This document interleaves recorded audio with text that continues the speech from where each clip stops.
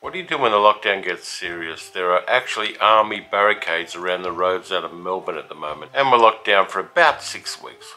So we've got to look after our mental health. We've got to keep things together. We've got to stop from going totally Jack Torrance and chopping up the doors in the house kind of mad. Comfort movies are called for, so I'll have to find myself a comfort movie. Something something from my childhood, something that makes me feel warm in my tummy, something cool, something I could talk about on a YouTube video.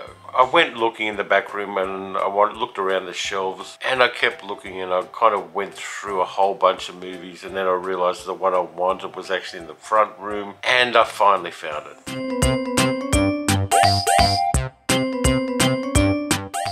By the way, the hat, um, I picked it up in an ice bar in Auckland on my honeymoon. But it's really warm and it's really snug. And I think it gives me a certain rakish, debonair look. You may disagree. So I found the movie. The movie that I wanted to watch. Based on a TV series from my childhood. And I found out I've got a bunch of different things from the movie in the household because that's how I roll. So the movie is Sid and Marty Krofft. Stuff the movie. Now, it's based on a TV series by a couple of guys called Sid and Marty Krofft, oddly enough. And it's hard to explain HR Pufnstuf the TV series, which is here, to people who didn't grow up with it, because it's basically pretty damn weird. A kid gets washed up on an island with a magic flute and meets a whole bunch of people in costumes pretending to be dragons and animals. There's an evil witch who wants to get the flute for reasons of her own, and I won't go into the Freudian implications of that. And it's deeply psychedelically weird. After the TV series ran its course, they decided to do a feature film. It is cool as. One of the reasons it's cool is it's got Mama Cass from the Mamas and the Papas in it playing a witch. It's got some really cool songs and the songs are so ineffably cool that there's even a soundtrack album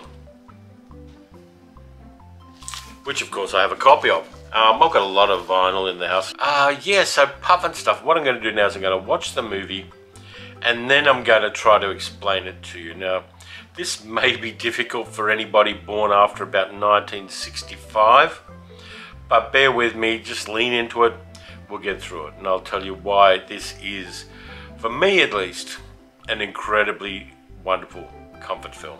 Eventually. So I watched Pufnstuf and stuff and it was still fun. Ah, that's a lovely thing.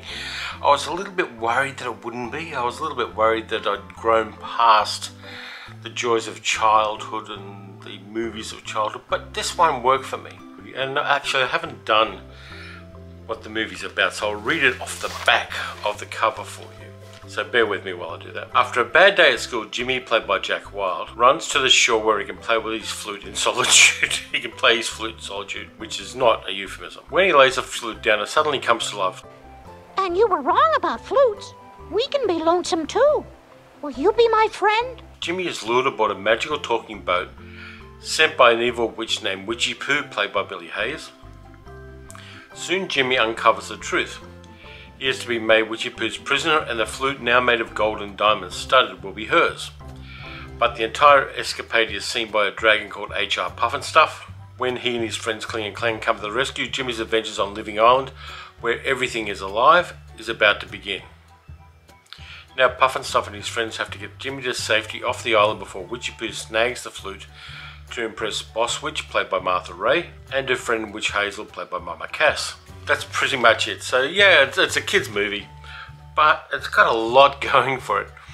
A lot of the jokes are very dated and very topical for 1970 when the movie was made, but that doesn't really matter that much. The things I took away from it that really I really appreciated were first off the music by Charles Fox with lyrics by Norman Gimbel from the album, and I'll put that so it doesn't reflect so much light. Um, are good. They're solid. Uh, Charles Fox did a whole bunch of different pieces of music and uh, particularly soundtracks in the 70s and 80s. He did the soundtrack to Barbarella, for instance. He did this one. He also did things like The Green Slime. I'm just reading this here. Um, the Laughing Policeman, The Last American Hero. He also wrote the theme to The Love Boat. So Charles Fox, who's still around, he was born in 1940, but he's still around, um, really does have some interesting pop cultural credit there. And the songs are good. There's a really good production number with Mama Cass Elliot singing a song called Different, which is very topical. Now, it's about finding out that you're different from other people and accepting it and finding allies and finding friends. It really is a song that kind of goes beyond the original context and could be covered again by a modern artist with a very different kind of emphasis. When I was smaller and people were taller, I realized that I was different.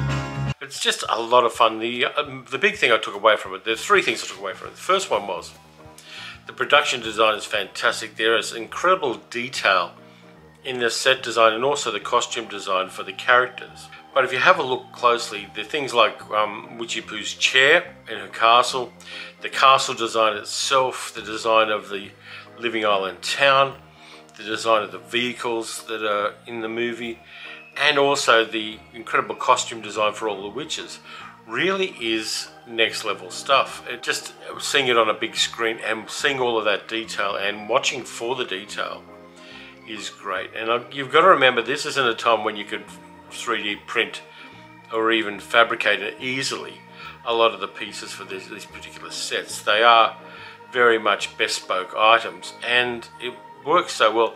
The colours are bright and vivid and well chosen too. The colour design in this is great. The actors are good too. Uh, there are a whole bunch of short-statured actors, people like Felix Silla, Billy Barty's in there, Angelo Rossitto, and a bunch of others wearing the costumes for a lot of the characters. And they get to do a lot of stuff. They, there's some wire work they have to do. There's also costumes where you can you have a limited field of vision and still dancing and doing all of the kind of pratfalls and stunts gives a lot of credit to those guys. And the female characters are very strong in this one too. Witchy Poo, played by Billie Hayes, who really made it big on Broadway in the late 1950s, playing Mammy Yokum in the musical Little Abner. She really gives it all. She's larger than life and overplays it the way a witch should be. She gets some of the best line. Right at the start of the movie, she even breaks the fourth wall to address the audience and does it at the end as well. Shh! Be quiet! Stop eating your popcorn and be quiet! So that's all kind of fun, and uh, she's really one of the most valuable players in this one. Uh, you also then have Martha Raye, who have been in movies since the 1940s, playing Boss Witch, and she knows what kind of movie it is. She plays to the level of the movie wonderfully. If you haven't seen it, you should check out the Olsen and Johnson movie Hellzapoppin', because Martha Raye has a major role in that and does some incredible things.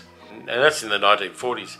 And here she is in 1970, playing uh, a broad character, which then got her a role in a further uh, Sid Marty Krofft TV series a couple of years later. So she was really great. Mama Cass is fantastic in there. I think this may be one of the only movie roles she did. Uh, Cass Elliot, of course, being part of the 1960s group, the Mamas and the Papas.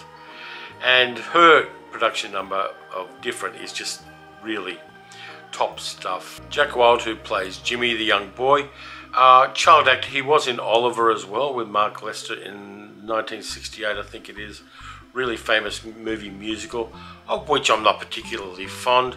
But Jack Wild unfortunately had um, some tragedy in his life. He was an alcoholic by the age of 21, and then due to his alcoholism and his inability to work and, and other things, uh, he was racked with cancer for a lot of his life and died at the age of 53. Child actors often have tragic lives, unfortunately, uh, due to emotional and physical abuse in their young years and the transition from being a star to not being a star uh, is something that a lot of them have a lot of trouble with.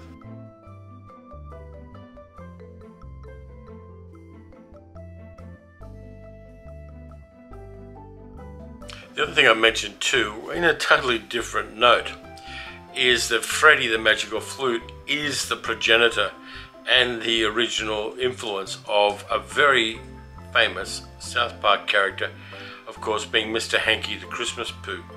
Very similar characters and with very similar voice. So obviously Trey Parker and Matt Stone were fans of Pufnstuf in its various iterations. So did the movie work as a comfort during these kind of rough times for me? Yeah, it did. It was fun to watch it. It was fun to just immerse myself in it. At the start, I started getting a little too analytical while I was watching it. And then I backed off from that and thought, no, I'm going to watch it just as an audience member and not get analytical about it and think about it later, but just be in the moment and enjoy the movie. And it worked for me. It really is a comfort film for me. And I think that anything we can use to get us through these unusual times is a good thing. Apart from, you know, drugs, sexual addiction, and um, gambling, and alcohol, I'd say that anything non damaging that gets you through these times is a good thing. So I recommend you see it. If you saw it as a child, you probably should revisit it. If you hadn't seen it as a child and you're from later generations, give it a go. Um, maybe just sit down, let it be a kid's film from the 1970s. Try not to overanalyze it and just go for the ride of this film. It's um, there are bits of it you're not going to like, but for the most part, it has an open heart. It's got some really good music in it, way above what you'd expect from a lot of similar product at the time. So that's it this time around. I had a lot of fun watching this movie. Uh, let me know what you think. Let me know what your childhood comfort films are and how rewatching them affects you as well because that is a big, very different thing. We watch things differently as adults as, than we do as children.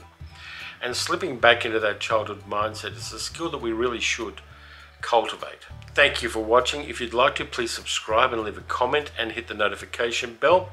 I'll be back soon with something very different. I think I might have a World War II movie that a lot of people haven't seen, which has some interesting things about it.